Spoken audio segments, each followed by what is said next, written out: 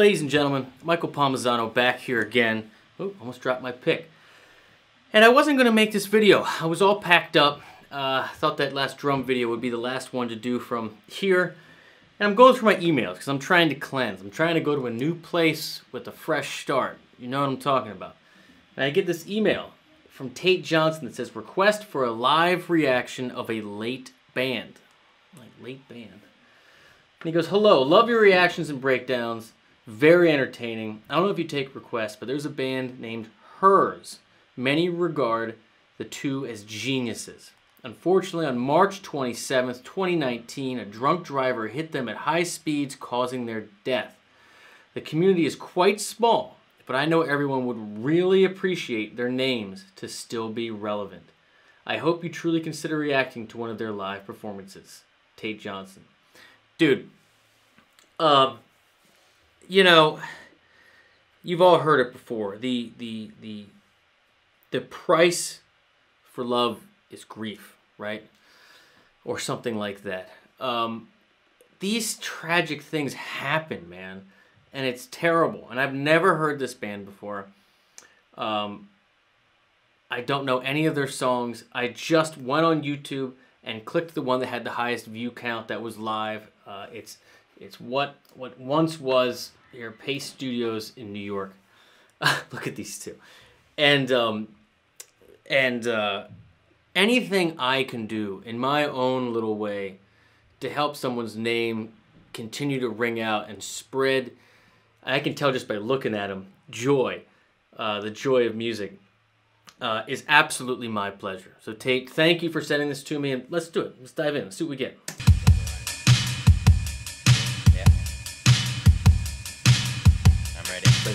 Not ready yet.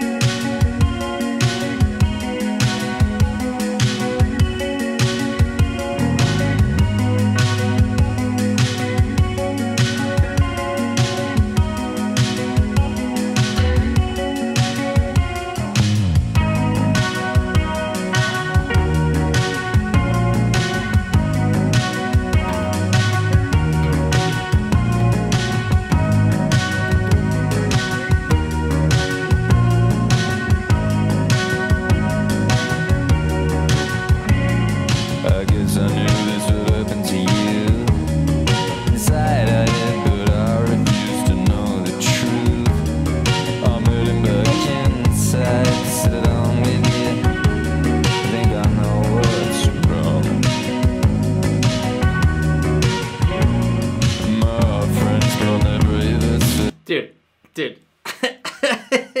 I totally dig the Rickenbacker playing bass players whole vibe. Uh, dude is dude is having a great time. I love that it's all the way up here. Um, I dig it. Uh, harmonically, what well, first, but his voice did not see that one coming. It's like a weird Leonard Cohen ish thing. Um, harmonically, uh, what's happening is we are in the neighborhood of A flat, and here's what you get. You get three bass notes. You get your root, or your tonic, we think of it, up to the fifth, two, and then if you listen to the quality of each one, they're all three minor. So you got A flat minor, right? E flat minor, B flat minor. And so you think to yourself, okay, I have three minor chords.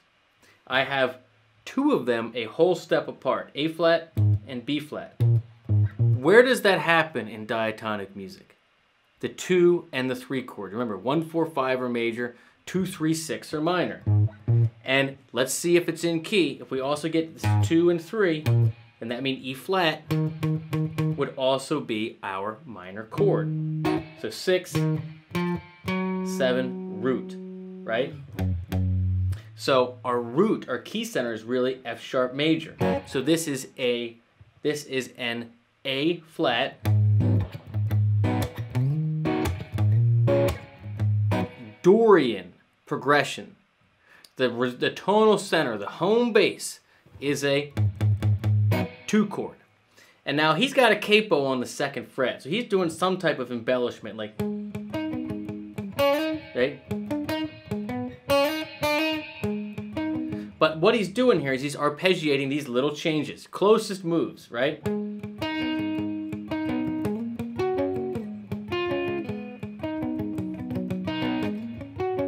So this little piece here, little piece of E flat minor, and then this piece of B flat minor seven, and same thing here with A flat. Now this isn't note for note. Hopefully you guys aren't new to this channel, but if you are, I'm just getting the broad strokes of what makes the tune what it is. I try not to start and stop too much, but I want to give you a little something to take home. Here we go. Look at this bass player.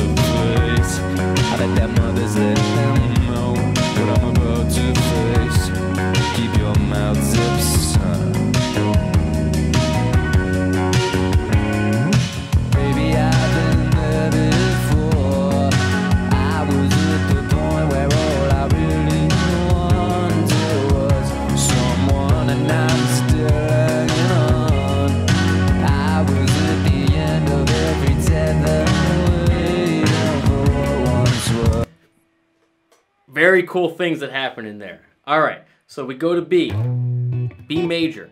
So this is now the four chord of our tonic center, which is F sharp, right? So four, down to one, right? Six, E flat, I gotta make sure I'm in screen here. Let's do it again. So four, or here, down to one, F sharp. Four, five, six, E flat, and then he goes down to the one again, uh, no, sorry, go to the two, to the two, and this time makes it five. First time you see that dominant seven, that sharp pull. Five wants to go to one, but then resolves it to the A flat uh, Dorian minor seven chord. Very cool sound.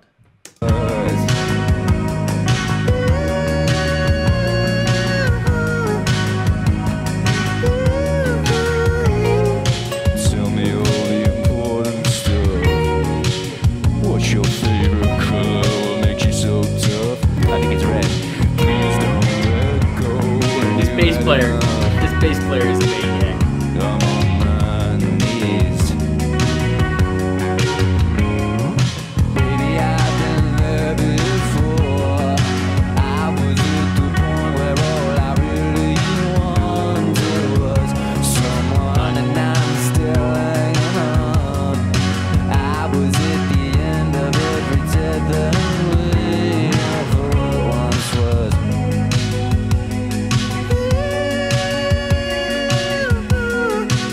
know, the bass player cut out there when he was going to do the harmony and looked right at him. He knew it was going to make it harder on him. Anybody that sings knows that uh, the bass tone, more than anything, is what really helps you calibrate when you're performing on stage, right? It's, it's what you feel viscerally. And I don't know whether they did it on purpose, but with his, with his grin, it makes me think, I mean, look at it. It makes me think he did it on purpose. Watch this. And he comes in a little flat, listen. Uh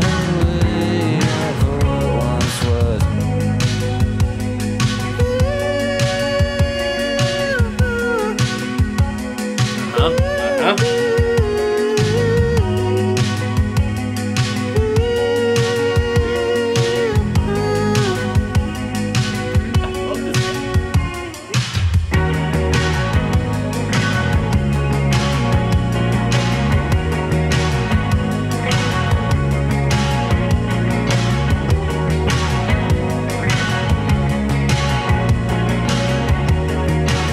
same chords, just move them around.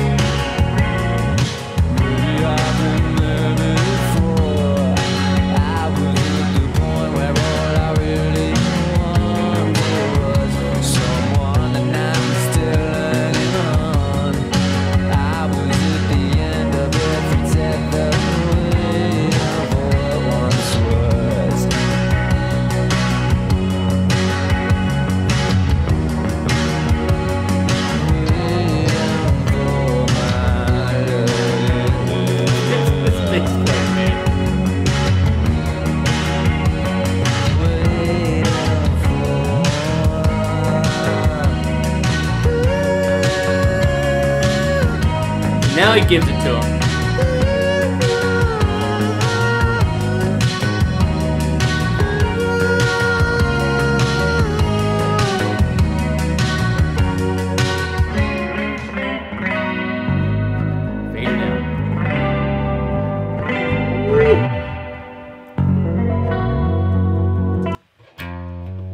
Do a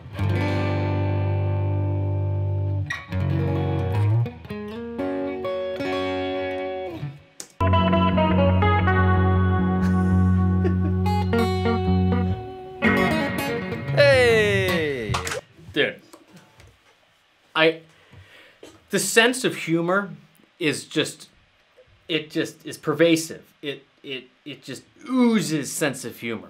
I I don't know if he meant to come out with the bass during that falsetto part, but I hope he did, and I hope he did to screw with his friend because that was a magical moment. I loved that.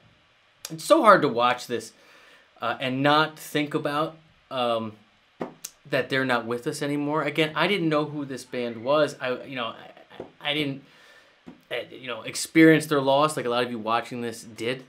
Um, but I sincerely appreciate what was your name again? Tate. Tate. I sincerely appreciate you sending this to me and uh, letting me uh, have the privilege of doing my own little part here to make sure that uh, their name continues to ring on and people that haven't found them yet are now finding them. So very cool. I totally dug it. I you know I dig all things Dorian, especially when they go back to the relative major like that. You know usually when you have relative major and minor, it's little relative major and minor like one, six, one, six. But going it from the from the two, so Dorian progression to Ionian, but right, but keeping it in that same thing. I think that's very very cool. Um, and they're just having fun. That's really the biggest thing. They're just having fun. So that's it, ladies and gentlemen. Thank you so much. Thanks for liking. Thanks for subscribing. Please drop links in the comments for things you'd like to see me do next. Any artists that you think, like Her's, that people don't know about but should. And thank you all that have taken the extra step to not only support this channel, but allow me to be your online teacher.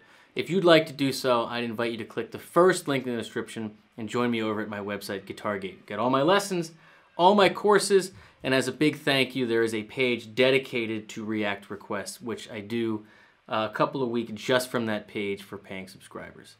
That's it. That's my little pitch. And uh, this was Her's, What Once Was from Paste Studios. Tate, thanks again. Have a good one. Cheers.